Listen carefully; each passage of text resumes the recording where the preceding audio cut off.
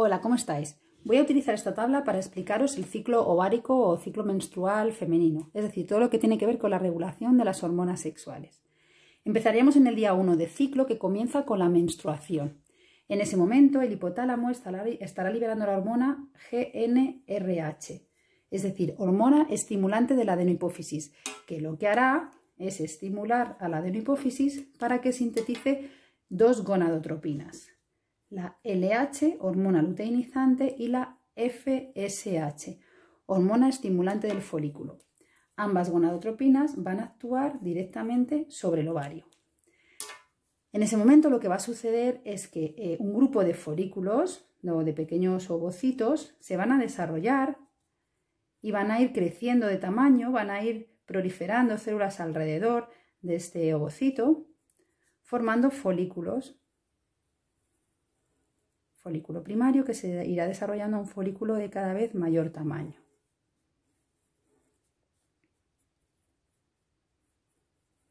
En este folículo hay dos tipos principales de células. Las células de la teca, que estarían en los bordes de, de, este folículo en crecimiento. Insisto, este folículo es un conjunto de células que van proliferando alrededor de este ovocito y esas células de la teca están fabricando andrógenos.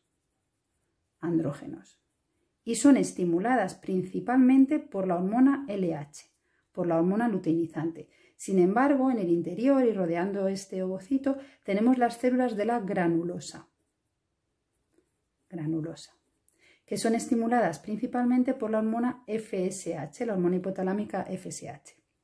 Las células de la granulosa, a su vez, eh, son estimuladas por los andrógenos para que produzcan estradiol.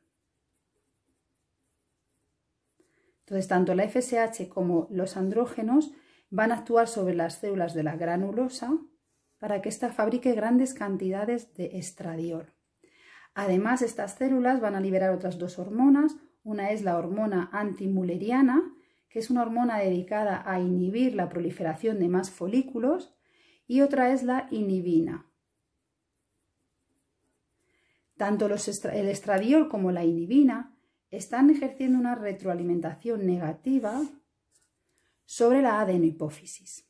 Sin embargo, las células de la granulosa son tan sensibles a la FSH, tienen una gran cantidad de receptores que además va a ir aumentando a medida que aumenta el ciclo.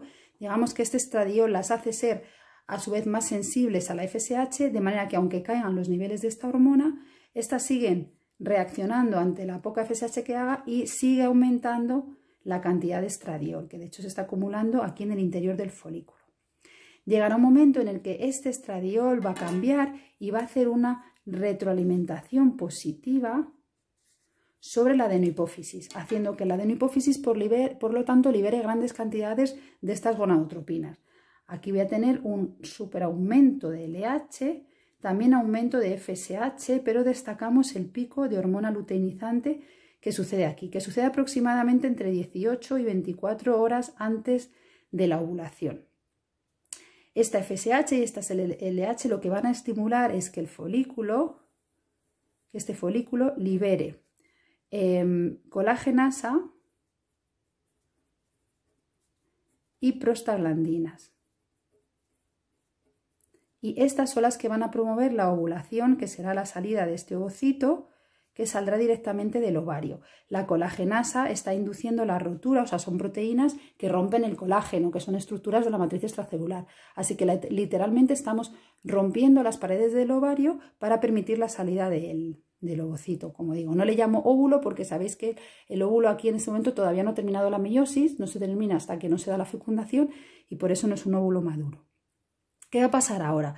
Lo que va a suceder es que este folículo que ha, que ha liberado el, ovocito se va a convertir en el cuerpo lúteo, ¿va? en esta estructura que es el cuerpo lúteo. El cuerpo lúteo también libera hormonas. Está liberando una gran cantidad de progesterona. También está liberando estrógenos más estradiol y también inhibina.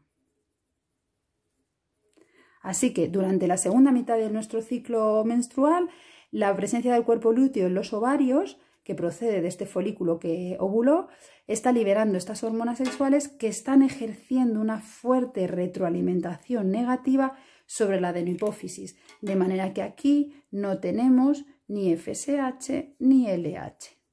Por supuesto, tampoco tenemos GNRH. Esta retroalimentación negativa también llegaría hasta, la, hasta el hipotálamo.